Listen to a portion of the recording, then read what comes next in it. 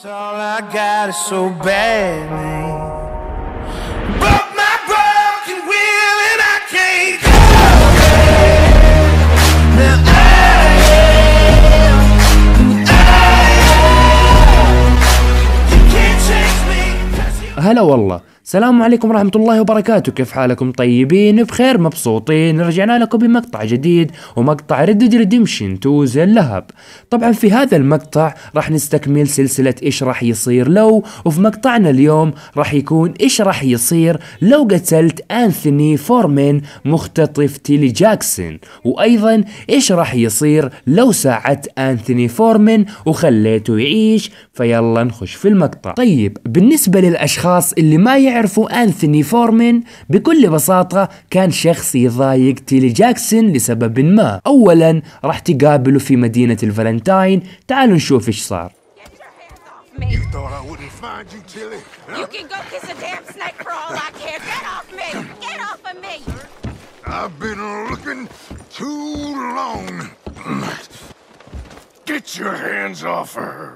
You? A friend of mine. Get the hell off of her, you son of a bitch. Hey, hey, take it easy. There's no problem here. There will be if you don't get out of here right now. You're making a big mistake, Tilly Jackson. Just get lost. I ain't doing this with you right now. طبعا زي ما شفتوا هذا كان أول لقاء بينكم وكانت الأمور يعني فيه له ما هي واضحة والأمور أكثر ضبابية لكن اللي واضح إنه يعني في نوعا ما من المضايقة. طيب خلوني أكلمكم وأذكر لكم بعض المعلومات عن أنثوني فورمين. بكل بساطة أنثوني فورمين هو قائد عصابة الأخوان فورمينز وهو يبغى ينتقم من تيلي جاكسون لأنها سوت شيء معين وبعد ما سوت هذا الشيء تركت العصابة. ومن جهة أخرى لهذا السبب تيلي جاكسون انضمت لعصابة داتش عشان تخلص نفسها من عصابة الفورمينز وأذيتهم وقروشتهم. بكل بساطة شخص سيء وعصابة سيئة. طيب بعد فترة من الزمن وتحديدا في ال chapter الرابع أنثوني فورمين راح يختطف تيلي جاكسون بشكل كامل. طبعا لما مس كريمشو وآرثر مورغان عرفوا بالموضوع على طول راحوا يساعدون تيلي جاكسون ولما يوصلون للمكان راح يحصلون إنه مليان بالحراس والعصابة متواجدة في المكان بكثرة فلازم يتعاملوا مع هذول الحراس ومع هذا الموضوع تعالوا نشوف سويا إيش سووا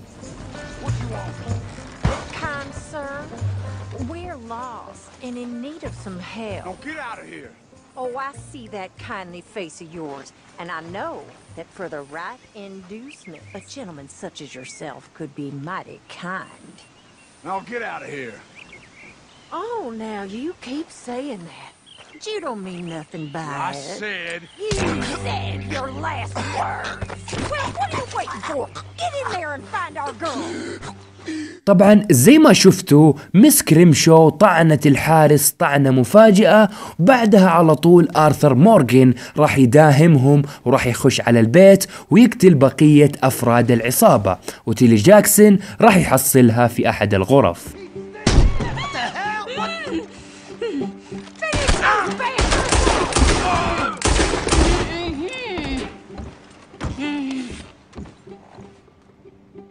It's okay, Miss Tilly. Now, let's get you out of here. I thought there was. I. Yeah, it don't matter what you thought. It's okay. All right, let's go. Oh, come along, miss. Thank you, both of you. What happened? It was Anthony Foreman. He thinks he owns me. I remember. Where is he? He went out hunting or something. There were five of them, I think. Well, we killed those fellas there. There they are. Come on. Tilly, grab that gun! Anyone approaches, shoot them! Oh, don't worry, I'll be just fine. Now catch that bastard.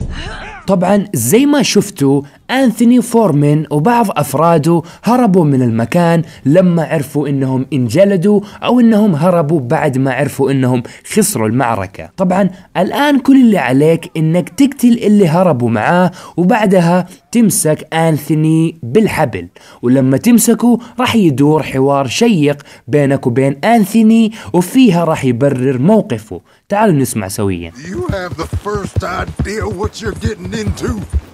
I'm Anthony Foreman. Well, thanks for the introduction, Anthony. Is that Foreman with an A? I want the Undertaker to spell it right. Funny bastard. Who are you running with? She didn't tell you? She didn't tell me nothing. Ah, this rope is cutting into me. Don't feel so good when you're the one tied up, does it? She killed my goddamn cousin. Oh, don't worry. You'll be seeing him soon enough. What are you gonna do with me? I ain't sure yet. Reckon I'll let Tilly decide what you deserve. You're wasting your time with that girl. She's a liar. She'll screw you over like she did me. I should have shot the bitch yesterday like I said I would. You just shut your mouth now, Anthony. I've heard enough. Son of a bitch. طبعا زي ما سمعتوا تيلي جاكسون قتلت ابن عم أنثوني فورمن لذلك هو يبي يقتلها عشان ينتقم لموت ابن عمه. طيب خلونا نطالع في الموضوع من جهة تيلي جاكسون وليش قتلت ابن عم أنثوني؟ طيب خلونا نطالع في الموضوع من جهة تيلي جاكسون وليش قتلت ابن عم أنثوني؟ طبعا غالبا غالبا هذا الشخص اللي قتلته حاول يعني إنه يسوي لها شيء معين يعني مثلا حاول إنه يغتصبها أو حاجة زي كذا. لذلك هي يعني سوت ردة فعل وقتلته لأنه مستحيل مستحيل أي شخص يقتل شخص معين بدون أي سبب. أكيد سواله شيء معين. فغالبا غالبا في ذيك الفترة يعني كان منتشره الاغتصاب وزي كذا فممكن قتلت هذا الشخص عشان حاول إنه يغتصبها وهذا أمر يعني بنسبة 60 إلى 70% هو الصحيح. طيب الآن راح تأخذ أنثوني فورمن لتيلي جاكسون ومس كريم شو وراح يدور حوار بينكم So he's still alive then? Yes. You see this girl? You leave her alone. She killed my cousin. Your goddamn cousin had it coming, Anthony Foreman! I don't care if she shot your daddy and cooked your mama for breakfast. She's mine. She ate yours. You know, a friend of mine, he always says, revenge is a fool's game.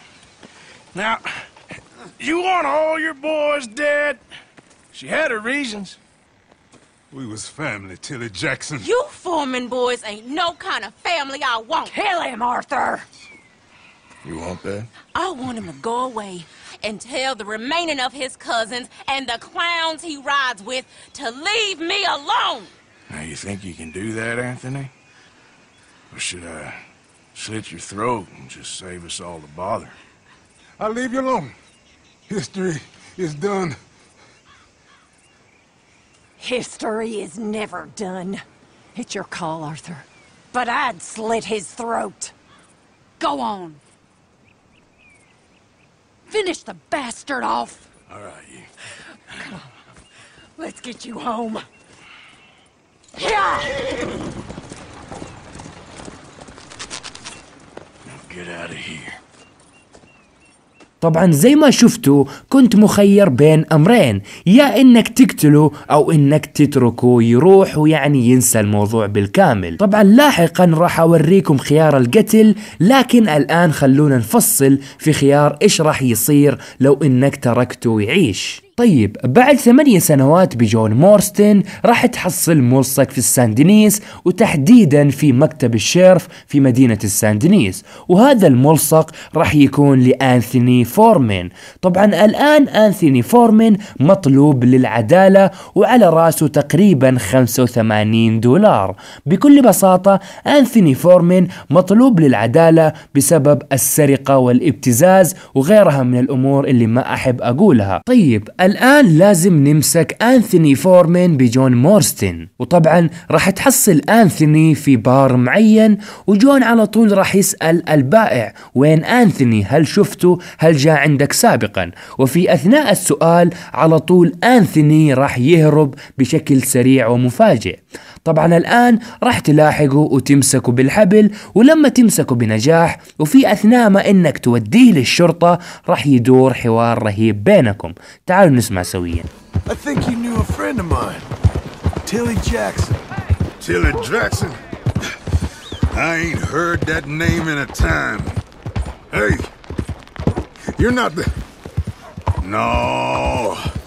He was bigger. But I ain't bringing you in for Tilly Jackson. I'm bringing you in because they're paying me. If my cousin was still here, you wouldn't have got me. I wouldn't have had to hide out in no slum, avoiding no bounty. When he got killed and we lost them other boys at Radley's house, that's when things went sour. طبعا زي ما شفتوا أنثوني فورمن نوعا ما نسي موضوع تيلي جاكسون وما عاد صار يهتم زي أول. لكن بمجرد ما جون مورستن ذكره بالموضوع بدأ يتكلم عن العصابة وإنها ما عاد صارت يعني زي ما كانت أول بعد ما مات ابن عمه يعني فيها تغيرت أشياء كثيرة.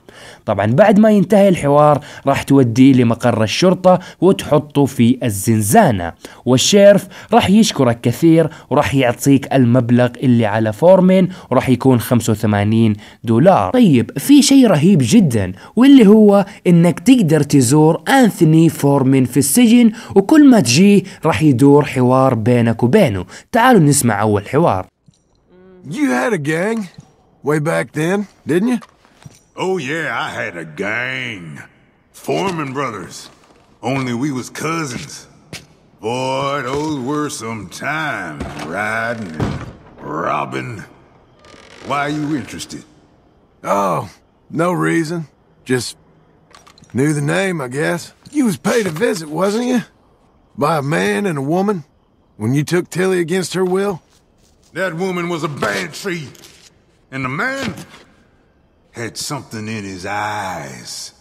But they let me live, and I kept my promise to them. Yeah, well, they was friends of mine. Ain't with us no more. طبعا زي ما شفتوا جون مورستن ذكروا بآرثر مورغان ومس كريم شو وأنثوني على طول افتكرهم وعرفهم ووصفهم ببعض الأوصاف. على سبيل المثال وصف مس كريم شو بالمتشائمة. في الجهة الأخرى وصف آرثر مورغان بأنه يملك شيء كبير بداخله. أو زي ما وصفه حرفيا قال أنه في شيء في عينه. صراحة الحوارات اللي بين الشخصيات جدا جدا رهيبة وأبدعوا فيها روكستار أما بالنسبة لخيار القتل هذا هو شوفوا معايا Finish the bastard off. Sadly, I agree with you. Sorry, partner. We can't take no chances with the likes of you. Yeah!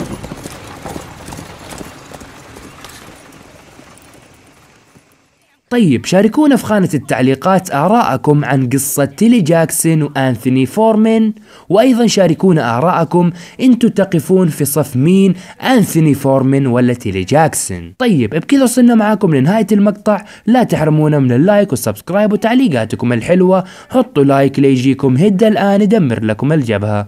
يلا سلام عليكم.